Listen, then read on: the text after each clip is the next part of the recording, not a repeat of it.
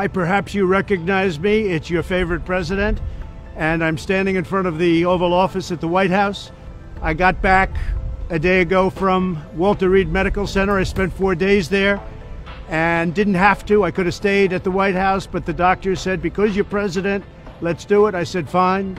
You tell me what to do, and I'm going to listen. These are great professionals. But I spent four days there, and I went in, I wasn't feeling so hot. And within a very short period of time, they gave me Regeneron. It's called Regeneron. And other things too, but I think this was the key. But they gave me Regeneron, and it was like unbelievable. I felt good immediately. I felt as good three days ago as I do now. So I just want to say we have Regeneron, we have a very similar drug from Eli Lilly, and they're coming out, and we're trying to get them on an emergency basis. We've uh, authorized it, I've authorized it. And if you're in the hospital and you're feeling really bad, I think we're going to work it so that you get them and you're going to get them free. And especially if you're a senior, we're going to get you in there quick. We have hundreds of thousands of doses that are just about ready.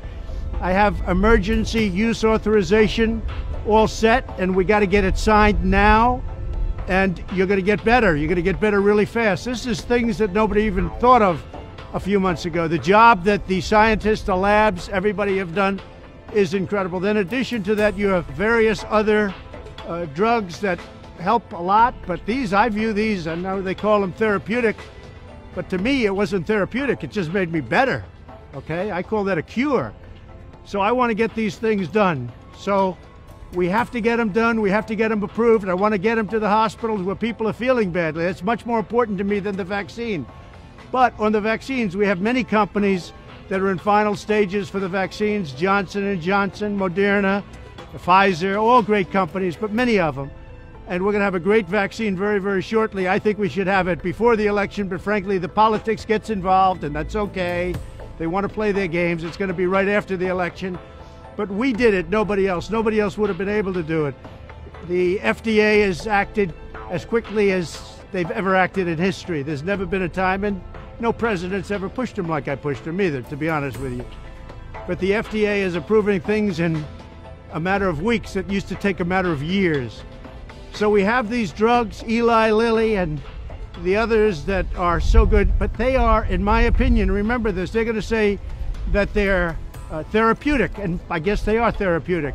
Some people don't know how to define therapeutic. I view it different. It's a cure. For me, I walked in, I didn't feel good. A short 24 hours later, I was feeling great. I wanted to get out of the hospital. And that's what I want for everybody. I want everybody to be given the same treatment as your president because I feel great. I feel like perfect. So I think this was a blessing from God that I caught it. This was a blessing in disguise. And I think if I didn't catch it, we'd be looking at that like a number of other drugs. But it really did a fantastic job.